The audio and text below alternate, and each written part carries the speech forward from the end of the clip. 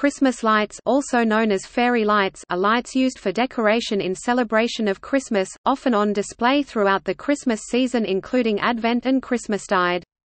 The custom goes back to when Christmas trees were decorated with candles, which symbolized Christ being the light of the world. These were brought by Christians into their homes in early modern Germany. Christmas trees displayed publicly and illuminated with electric lights became popular in the early 20th century. By the mid-20th century, it became customary to display strings of electric lights along streets and on buildings, Christmas decorations detached from the Christmas tree itself. In the United States, it became popular to outline private homes with such Christmas lights in tract housing beginning in the 1960s. By the late 20th century, the custom had also been adopted in other nations, including outside the Western world, notably in Japan and Hong Kong. Throughout Christendom, Christmas lights continue to retain their symbolism of Jesus as the light of the world. In many countries, Christmas lights, as well as other Christmas decorations, are traditionally erected on or around the first day of Advent. In the Western Christian world, the two traditional days when Christmas lights are removed are Twelfth Night and Candlemas, the latter of which ends the Christmas Epiphany season in some denominations. Leaving the decorations up beyond Candlemas is historically considered to be inauspicious.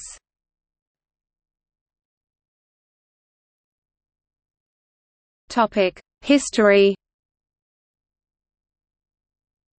The Christmas tree was adopted in upper-class homes in 18th-century Germany, where it was occasionally decorated with candles, which at the time was a comparatively expensive light source. Candles for the tree were glued with melted wax to a tree branch or attached by pins. Around 1890, candleholders were first used for Christmas candles. Between 1902 and 1914, small lanterns and glass balls to hold the candles started to be used. Early electric Christmas lights were introduced with electrification, beginning in the 1880s. The illuminated Christmas tree became established in the UK during Queen Victoria's reign, and through emigration spread to North America and Australia. In her journal for Christmas Eve 1832, the 13-year-old princess wrote, "...after dinner, we then went into the drawing room near the dining room. There were two large round tables on which were placed two trees hung with lights and sugar ornaments. All the presents being placed round the trees."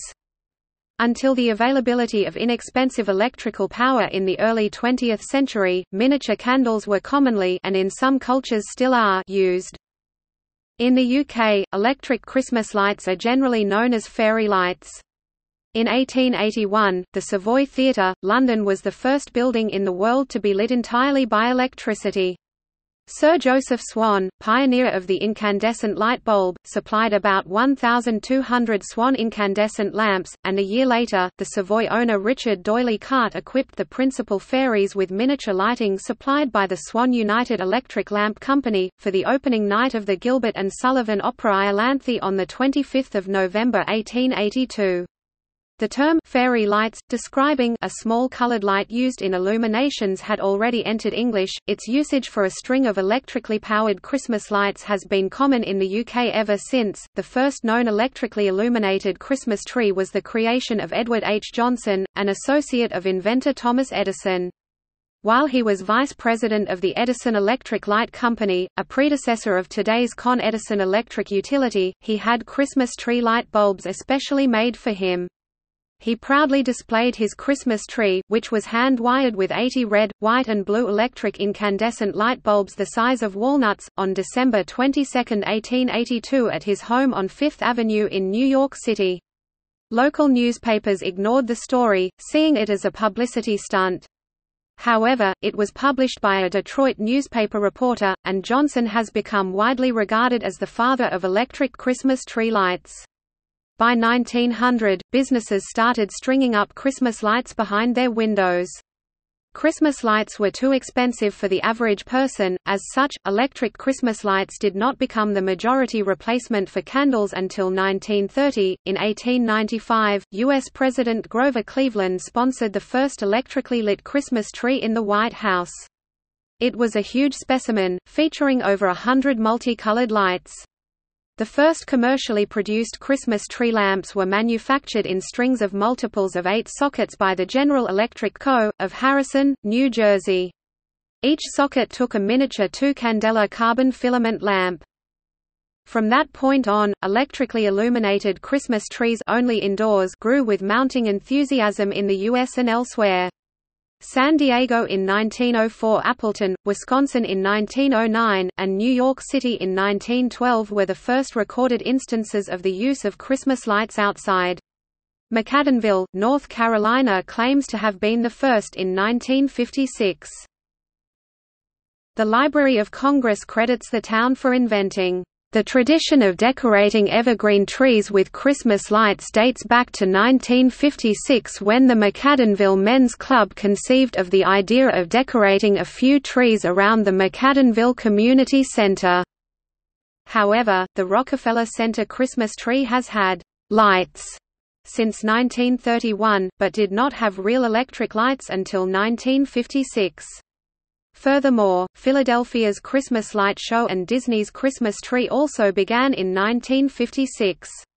Though General Electric sponsored community lighting competitions during the 1920s, it would take until the mid-1950s for the use of such lights to be adopted by average households. Christmas lights found use in places other than Christmas trees. By 1919, city electrician John Malpeter began decorating the new Civic Center Park in Denver, Colorado, eventually expanding the display to the park's Greek amphitheater and later to the adjacent new Denver City and County Building, City Hall upon its completion in 1932. Soon, strings of lights adorned mantels and doorways inside homes, and ran along the rafters, roof lines, and porch railings of homes and businesses. In recent times, many city skyscrapers are decorated with long mostly vertical strings of a common theme, and are activated simultaneously in grand illumination ceremonies. In 1963, a boycott of Christmas lights was done in Greenville, North Carolina to protest the segregation that kept blacks from being employed by downtown businesses in Greenville, during the Christmas sales season. Known as the Black Christmas boycott or Christmas sacrifice, it was an effective way to protest the cultural and fiscal segregation in the town with 33% black population. Light decorations in the homes, on the Christmas trees, or outside the house were not shown, and only six houses in the black community broke the boycott that Christmas. In 1973, during an oil shortage triggered by an embargo by the Organization of Arab Petroleum Exporting Countries, later OPEC, President Nixon asked Americans not to put up Christmas lights to conserve energy use. Many Americans complied, and there were fewer displays that year. In the mid 2000s, the video of the home of Carson Williams was widely distributed on the Internet as a viral video. It garnered national attention in 2005 from The Today Show on NBC, Inside Edition and the CBS Evening News and was featured in a Miller television commercial. Williams turned his hobby into a commercial venture, and was commissioned to scale up his vision to a scale of 250,000 lights at a Denver shopping center, as well as displays in parks and zoos.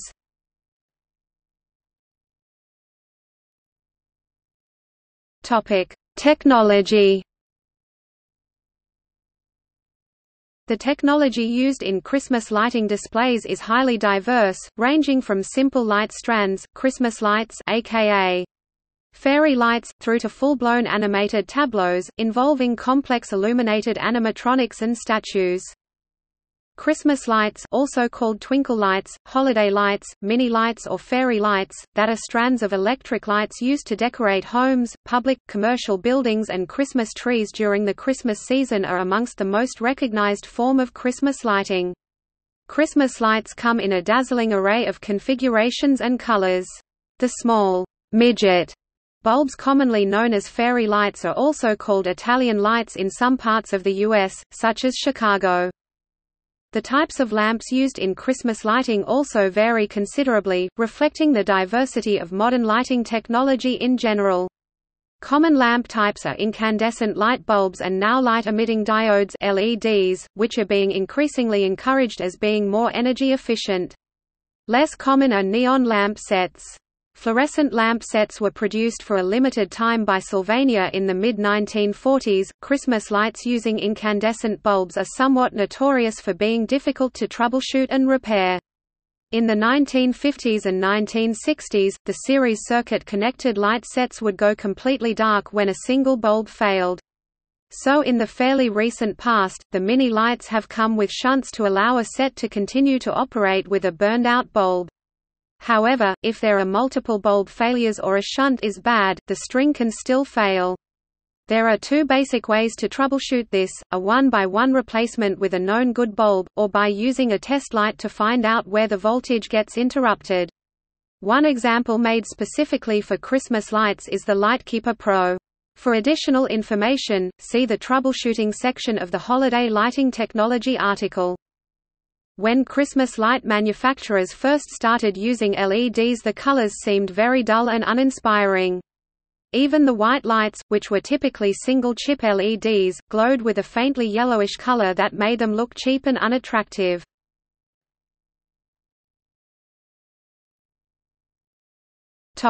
Outdoor displays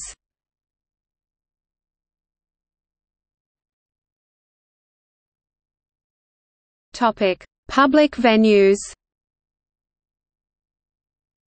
Displays of Christmas lights in public venues and on public buildings are a popular part of the annual celebration of Christmas, and may be set up by businesses or by local governments.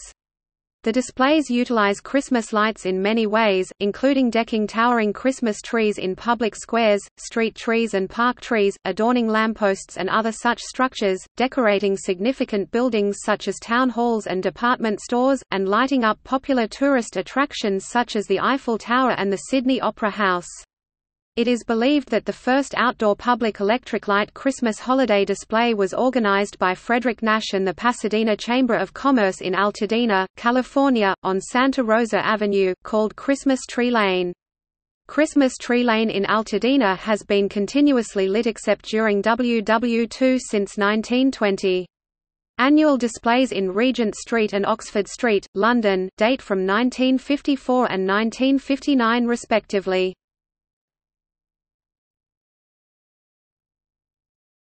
Topic: Neighborhoods. From the 1960s, beginning with tract housing in the U.S., it became increasingly common to outline the house particularly the eaves with weatherproof Christmas lights. The Holiday Trail of Lights is a joint effort by cities in East Texas and Northwest Louisiana that had its origins in the Festival of Lights and Christmas Festival in Natchitoches, started in 1927, making it one of the oldest light festivals in the U.S. Fulton Street in Palo Alto, California, has the nickname, "'Christmas Tree Lane' due to the display of lighted Christmas trees along the street. A familiar pastime during the holiday season is to drive or walk around neighborhoods in the evening to see the lights displayed on homes. While some homes have no lights, others may have ornate displays requiring weeks to construct. A few have made it to the extreme Christmas TV specials shown on HGTV, at least one requiring a generator and another requiring separate electrical service to supply the electrical power required. In Australia and New Zealand, chains of Christmas lights were quickly adopted as an effective way to provide ambient lighting to verandas, where cold beer is often served in the hot summer evenings. Since the late 20th century, increasingly elaborate Christmas lights have been displayed, and driving around between 8 and 10 p.m. to view the lights has become a popular form of family entertainment. In some areas Christmas lighting becomes a fierce competition, with town councils offering awards for the best decorated house, in other areas it is seen as a cooperative effort, with residents priding themselves on their street or their neighbourhood. The town of Lobethal, South Australia, in the Adelaide Hills, is famed for its Christmas lighting displays. Many residents expend great effort to have the best light display in the town. Residents from the nearby city of Adelaide often drive to the town to view them. In the U.S., the television series The Great Christmas Light Fight features homes across the country in a competition of homes with elaborate Christmas light displays.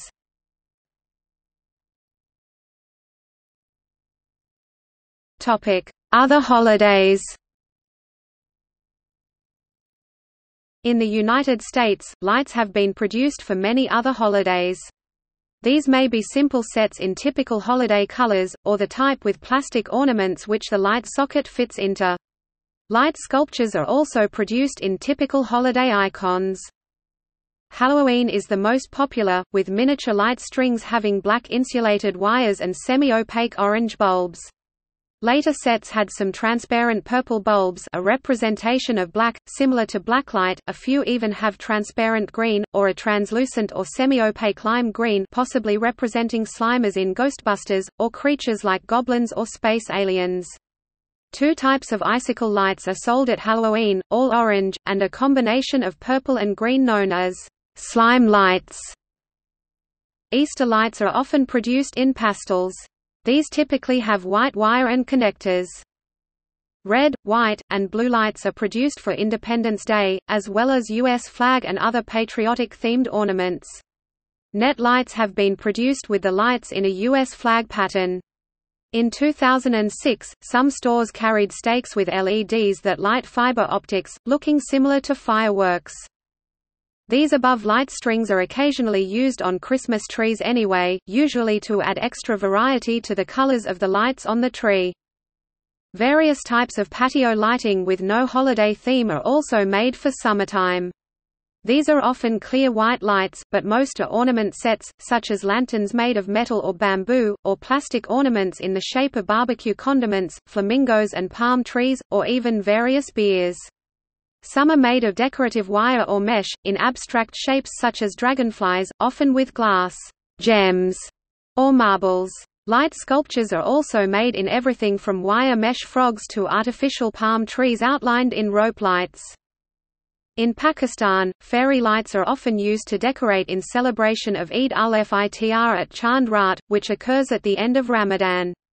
In India on Diwali too, homes, shops and streets are decorated with strings of fairy lights.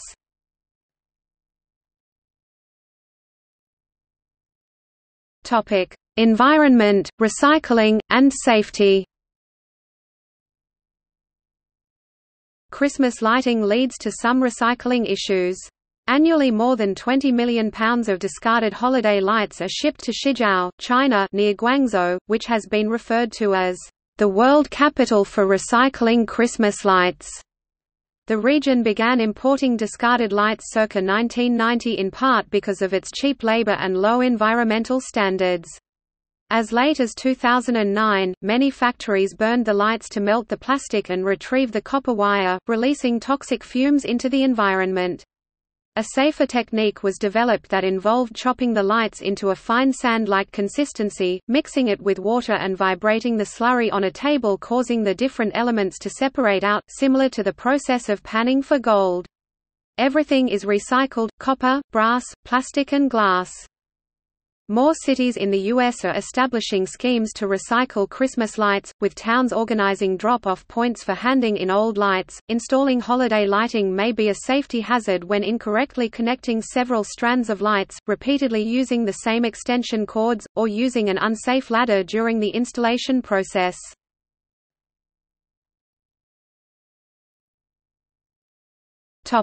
Light sculptures. Christmas light sculptures, also called motifs, are used as Christmas decorations and for other holidays. Originally, these were large wireframe metalwork pieces made for public displays, such as for a municipal government to place on utility poles, and shopping centers to place on lampposts. Since the 1990s, these are also made in small plastic home versions that can be hung in a window, or on a door or wall. Framed motifs can be lit using mini lights or rope light, and larger-scale motifs and sculptures may use C7 bulbs. Light sculptures can be either flat most common or three-dimensional. Flat sculptures are the motifs, and are often on metal frames, but garland can also be attached to outdoor motifs. Indoor motifs often have a multicolored plastic backing sheet, sometimes holographic. 3D sculptures include deer or reindeer even moose in various positions, and with or without antlers, often with a motor to move the head up and down or side to side as if grazing. These and other 3D displays may be bare frame, or be covered with garland, looped and woven transparent plastic cord or acrylic, or natural or gold tone painted vines. Snowflakes are a popular design for municipal displays, so as not to be misconstrued as a government endorsement of religion, or so they can be left up all winter. Some places make huge displays of these during December, such as Callaway Gardens, Life University, and Lake Lanier Islands in the U.S. state of Georgia. In East Tennessee, the cities of Chattanooga, Sevierville, Pigeon Forge, and Gatlinburg have light sculptures up all winter. Gatlinburg also has custom ones for Valentine's Day and St. Patrick's Day, while Pigeon Forge puts flowers on its tall lampposts for spring, and for winter has a steamboat and the famous picture of U.S. Marines raising the flag on Iwo Jima, in addition to the city's historic old mill. Some sculptures have microcontrollers that sequence circuits of lights, so that the object appears to be in motion. This is used for things such as snowflakes falling, Santa Claus waving, a peace dove flapping its wings, or train wheels rolling.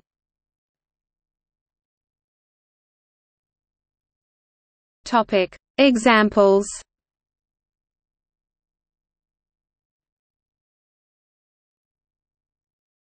Topic. See also Christmas tree Christmas worldwide Luminaria. Albert Sadacca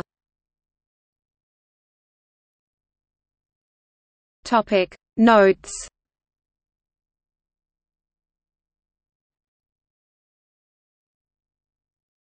Topic. External links. Media related to Christmas lights at Wikimedia Commons